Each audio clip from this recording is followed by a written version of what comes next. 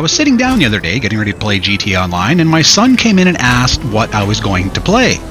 I told him, and then almost immediately he replied, Why do you always play GTA? My quick response was, Well, I guess I enjoy it. Probably not completely satisfied with the answer, he walked away.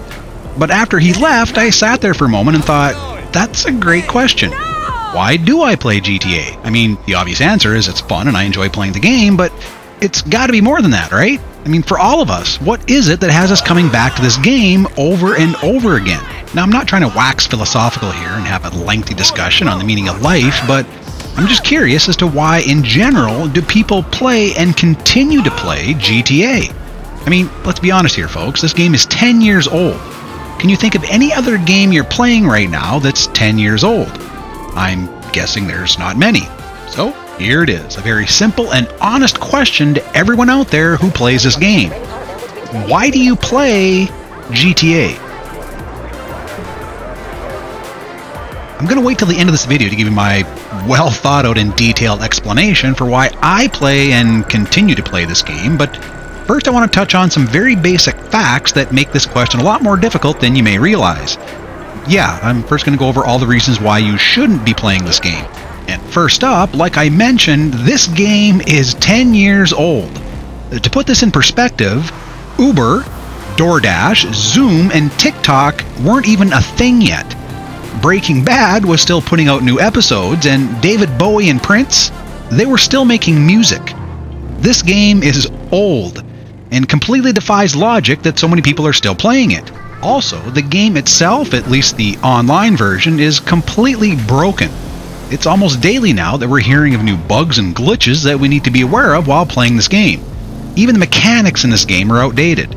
The simple act of running out a door and down a flight of stairs can have you grinding your teeth in frustration. It's almost a given that with each and every fix Rockstar tries to make, there's an equal amount or more of glitches that are sure to follow. And let's not forget about Rockstar the company. This is an organization that consistently faces backlash from fans due to their corporate decisions and greed. Sure, it's all about the bottom line and profit when you're running a company, but Rockstar seems to go the extra mile when it comes to agitating its player base. They're always pushing shark cards and introducing new ways to make money from this game, i.e., GTA Plus, but then do absolutely nothing to actually fix this game and make it more enjoyable for the player. This game lacks consistent updates, new content is few and far between, and they completely ignore modders unless they're impacting the revenue. Now, I could go on and on here. There's literally hundreds of videos out there explaining, with great detail, I might add, specific reasons why people hate GTA, why they utterly despise Rockstar, and why they announce with unwavering conviction, I'm never playing this game again. But they do. And they will. And they'll play it a lot. To date, Rockstar has sold almost 200 million copies of this game. Last year alone, they sold over 15 million copies. So, yeah, this game is still popular and people are still playing it. Last week, Steam put out a little stat that reinforces this. In the month of January, last month, GTA Online was averaging over 120,000 players playing this game. Averaging. And that's just on PC this game almost seems more popular now than when it came out. So I'll ask again, with all its faults and frustration, why do you uh, play GTA? Same for them.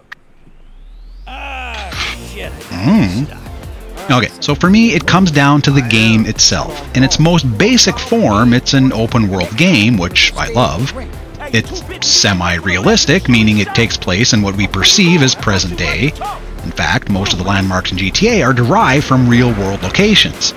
And there's a lot you can do in this game. I think most people forget about this.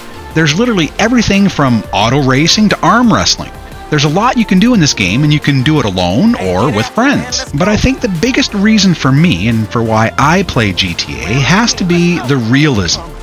I can start out at level 1 with absolutely nothing and then choose whatever path I want to take to obtain whatever I want to purchase, all while making money by way of stealing a diamond on a faraway tropical island or accepting fares as a taxicab driver. It's a game that, for all its faults, mimics life itself.